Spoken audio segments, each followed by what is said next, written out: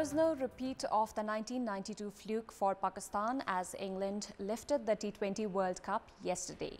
England, who are also the world champions of 50 over format, proved their class as they crushed both India and Pakistan in the crunch games.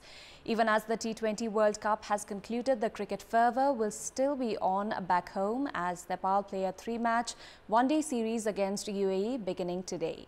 Good morning, I'm Sarah Chitrakar and these are the headlines of the hour. Candidates and leaders distributing tall assurances of development and prosperity in Baitadi. Leaders trying to woo voters with the agenda of bridge over Chula Ghat. A host of top brass leaders won't be able to vote for themselves due to election-related law. Leaders include KP Sharma Oli, Pushpa Kamal Dahal, Onsari Gharti among others. Least six people killed and 81 others wounded in an explosion in central Istanbul, Turkey. The blast reported to be carried out by a female suicide bomber.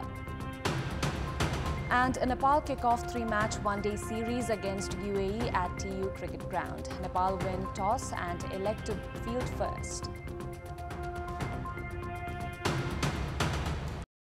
Candidates and leaders have provided tall assurances of development and prosperity in Baitadi, which has only one electorate constituency for the upcoming parliamentary elections. There are altogether 11 contestants up in fray in Baitadi, including Narendra Bahadur Kunwar of CPN Maoist Centre representing the ruling alliance and CPN UML's Damodar Bhandari. Former Minister and Nepali Congress leader Keshav Bahadur Chand and some other independent candidates are likely to make the contest quite intriguing in the only constituency in Baitadi. Former Prime Minister and Maoist Centre chairperson who reached Baitadi to persuade the voters in favour of the ruling alliance candidate expressed commitment to construct a motorable bridge in Baitadi's Chula Ghat on Nepal-India border. It may be recalled that CPN UML chairperson KP Sharma Oli, who had reached Baitadi a few days ago in course of election campaigning, had also committed off-bridge at Chula Ghat. It was during former Prime Minister KP Sharma Oli's tenure that the local residents in Baitadi had launched a two-month relay hunger strike, demanding the construction of a bridge at Chulaghat. Leaders and candidates every election used to sell the dream of West Seti project, Pancheshwar multi-purpose project, Mahakali corridor, while this time they have found a new agenda in the form of the bridge over Chulaghat. Baitadi has a total of just over 140,000 voters, while the local election here was won by the alliance candidate with CPN UML coming in the second place. The election fever in the plains and hilly regions of Chitwan are far from different. Even as the plains see election campaigns on a daily basis, the hilly areas have remained unlisted. The accessible plains in Chitwan is gearing up for the upcoming 20th November elections with the candidates getting busy in door-to-door -door campaigns. However, the election buzz in hilly region has remained lackluster. The locals here have simple demands as they want better roads and proper electricity management. The candidates say that it is difficult to reach the hilly regions, but they have continued their campaigns and claim that they are working on getting the votes from the hills. Ichha Kamana Rural Development Committee of Chitwan is a complete hilly region, whereas three electorates from Rapti, two from Kalika and one from Bharatpur municipalities fall in hilly region. With the candidates only focused on accessible areas, the issues of the residents of remote hilly regions have largely remained ignored.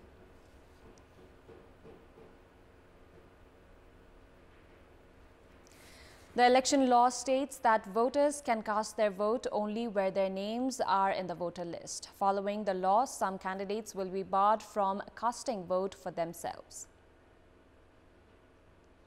Some of the candidates have changed their electoral constituencies in the upcoming elections due to their own preference and also because of the issue of ticket distribution. Some candidates are running in constituencies where their name is not in the voter list. Following the election law, CPN UML chairperson KP Sharma Oli, who is a candidate from Jhapa 5, will not be able to vote for himself as his name is in the voter list in Balkot, Bhaktapur 2. Likewise, CPN Mao Center Chair Pushpa Kamal Dahal, who is a candidate in Gorkha 2, will not be able to cast his vote for himself as his name is in the voter list in Chitwan 3. Other Mao Center candidates who will be denied voting opportunity for themselves are Onsari Gharti Magar, Jhakku Subedi, Devendra Paudel and Kalpana Thamala. Likewise, Nepali Congress leaders Mohan Bahadur Basnet, Pradeep Paudel, Mahalakshmi Upadhyay, Bir Bahadur Balayar, CPN UML's Agni Prasad Kharel, Sarvendra Khanal, CPN Unified Socialists, Birod Khatiwada and Loktantrik Samajwadi Party's Lakshman Lal Karn also fall under the category of contestants who won't be able to vote for themselves. The scenario is identical for some candidates of the province assembly. In the local level election, candidates have to file their candidacy where they have their name in the voter list. However, in case of parliamentary and provincial elections, candidates have the freedom of filing candidacy from any constituency. In our public voice segment, we had asked people in several provinces what difference have they seen in the election campaigns this time compared to the past elections. Let's take a look at what they had to say. Public voice पहिला झकी झकास पर्चा पम्पलेटहरू टाँसेर चाहिँ तपाईँको नाचगानसहित आउँथे। अहिले धेरै नै सादा भएको छ। पहिला सिकाउँथे थरी थरी कहिले कुन पार्टी कहिले कुन पार्टी आइरहेको थिएँ अहिले खासै कुनै पार्टी नै आएन। अहिले निर्वाचन आयोगले खर्चको पनि एउटा सीमा तोकिया छ। युवाहरू निकै जागृत भएको जस्तो लागिरहेछ। पहिला पहिला घर दैलो कार्यक्रम धेरै हुन्थ्यो। आउनुहुन्थ्यो भेट्नुहुन्थ्यो। अहिलेको चुनावमा रेडियोमा कुरा मात्रै सुनिन्छ। नेताहरू उनका कार्यकर्ताहरू उनका पिक्चरका फोटाहरू अहिलेसम्म हामीले देखेका छैनौँ। तपाईँहरूको समस्या के हो? हामी यो गरिदिन्छौँ ऊ गरिदिन्छौँ भनेर आउँछन् न नेता नेतालाई जागरण छ न चाहिँ भोटरलाई जागरण छ।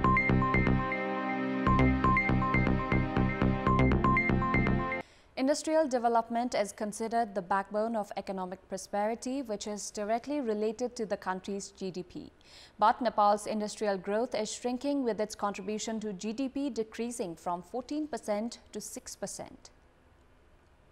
The country's industrial sector is in a crisis as a result of economic constraints. Development works are set are at snail pace, while a liquidity crisis has created difficulty to construct private houses, which in turn has mostly affected construction-related industries. Likewise, shoes, garments, biscuits and noodle factories have not been able to operate at 50% capacity. The situation of cement industries is also critical. Although the government is saying that it is making efforts to increase the industrial sector's contribution to the GDP, it has failed to create an investment-friendly environment. At a time when the demand for industrial products is decreasing, the bank interest rates are on the rise, further weakening the financial situation of the industrial sector. The industries have claimed that 30 billion rupees is yet to be collected from the market, while industries have been operating at only 35% capacity. In the given scenario, experts opine that the economy will further weaken. The current electoral manifestos of the political parties have stated that they would work on developing the industrial sector to create employment. The flooding and inundation from Rapti River has been causing massive hardship for the residents living in the close vicinity of the river bank. The election candidates this time have drawn attention of both the governments of Nepal and India to build a 41 kilometer embankment on either sides to safeguard the lives and properties. The Indian Department of Water Resources, uh, River Development and Ganga Rejuvenation and the Irrigation Department of Nepal signed an agreement at the end of the previous fiscal year on completing the construction of an embankment on Rapti River within five years. The agreement stated that India will provide approximately 10.5 billion rupees, including technical monitoring, while Nepal will bear 1 billion rupees. 35 kilometers of permanent embankment is said to be constructed on both sides, while the remaining 6 kilometers will be built temporarily. The project commencement has been delayed as the financial final inundation survey has yet to be completed. The deadline to call for tender was until the festival of Tihar. The election candidates, especially from inundation affected areas, have made this issue their primary agenda. Local residents, however, say that ministers and parliamentarians have raised their issues only during election. Earlier, India had conducted a study on inundation caused by Kal Kalwa embankment and Lakshmanpur barrage. India had built a 13 kilometer long Kal Kalwa embankment at Holia around 25 years ago, causing the river to change its course, inundating 30,000 hectares of Nepali land. Time now for our segment, Public Pulse, where text us with your opinion. Public Pulse. Here's the question Why has the free visa, free ticket scheme for foreign employment not been implemented even after seven years? Your options are A. Irresponsible government, B. Employment companies' high handedness, and C. Lack of awareness. Voting is on. Type any WS, select your option A, B, or C, and send it to 34001 to share your opinion with us. That's all for the moment. Thank you for watching. Good day.